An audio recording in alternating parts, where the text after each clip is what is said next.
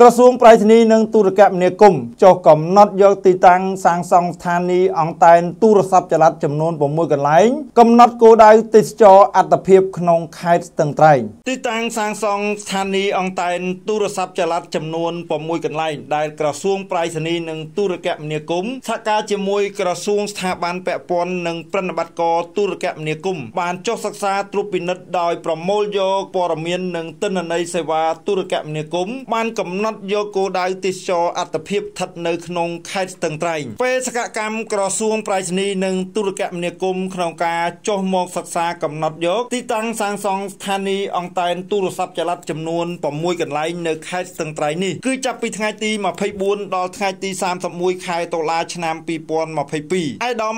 ញឹកកសលវិជា អនុរដ្ឋលេខាធិការក្រសួងប្រៃសណីនិងទូរគមនាគមន៍និងជាប្រធានក្រុមការងារប្រណិប័តតំបន់5បានមានប្រសាសន៍ថាក្រមការងារអន្តរក្រសួង និងមន្ទីរក្នុងនោះមានទេសចរបរិស្ថានវប្បធម៌និងវិចិត្រសិល្បៈដោយបានសហការជាមួយក្រមការងារប្រណិប័តករទូរស័ព្ទចល័តក្រមការងារប្រណិប័តករសាងសង់បង្គោលអង្តែនរួមទាំងអាជ្ញាធរពាក់ព័ន្ធក្នុងនោះបានឯកភាពគ្នា សម្រាប់យកទីតាំងដែលអាជ្ញាធរមូលដ្ឋានបានចង្អុលបង្ហាញ និងផ្ដល់ដីធ្វើជាទីតាំងសាងសង់បង្គោលអង្តែនដើម្បីធ្វើឲ្យតំបន់នោះមានសេវាទូរស័ព្ទនិងសេវាអ៊ីនធឺណិតមានគុណភាពល្អនិងវិសាលភាពសម្រាប់បម្រើសេចក្តីត្រូវការរបស់ប្រជាពលរដ្ឋយើង និងជាពិសេសភ្ញៀវទេសចរអាយដាមបានមានប្រសាសន៍បន្ថែមថាតំបន់ដែលបានកំណត់ដាក់បង្គោលស្ថានីយ៍អង្តែនទូរស័ព្ទទាំង6កន្លែងនេះវាជាតំបន់ទេសចរនិងដាច់ស្រយាលនិងស្ថិតនៅជិតទៅនឹងរមណីយដ្ឋានអេកូទេសចរ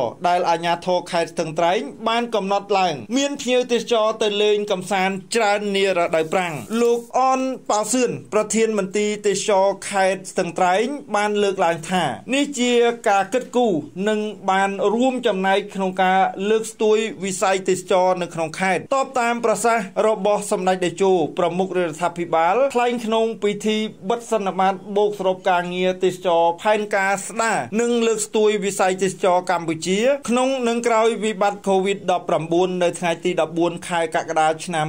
2022កន្លងមកលោកស្រីណេតច័ន្ទវរិនប្រធានមន្ទីរប្រៃសណីនិងទូរគមនាគមន៍ខេត្តស្ទឹងត្រែងបានបញ្ជាក់ថាឆ្លើយតបតាមនឹងតម្រូវការចាំបាច់នោះរដ្ឋមន្ត្រីក្រសួងប្រៃសណីនិងទូរគមនាគមន៍បានចេញសេចក្តីប្រកាសព័ត៌មានស្តីពីការសាងសង់ស្ថានីយ៍អង្តែនបន្ថែមចំនួន100នៅក្នុងប្រទេសកម្ពុជាដើម្បីពង្រឹងគុណភាពសេវាទូរគមនាគមន៍ក្នុងនោះខេត្តស្ទឹងត្រែងក៏ទទួលបាន មានចំនួន6កន្លែងផងដែរសម្រាប់ដំណាក់កាលទី1ស្ថិតនៅតាមគោលដៅទេសចរតំបន់ការពារធម្មជាតិនិងតំបន់ដាច់ស្រយាលសូមបញ្ជាក់ដែរថាស្ថានីយ៍អង្តែនទាំង6កន្លែងនេះនឹងត្រូវរៀបចំសាងសង់ឡើងទីតាំងទី1នៅរមណីយដ្ឋានអាហារដ្ឋានថ្មាតស្ថិតនៅភូមិខេស្វាយឃុំព្រែកមាសទី2សហគមន៍អេកូទេសចរអូចាយស្ថិតនៅ